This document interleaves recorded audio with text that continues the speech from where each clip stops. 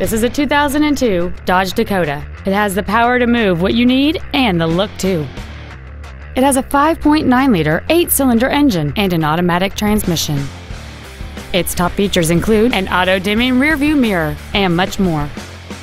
Not to mention that this Dodge qualifies for the Carfax buyback guarantee.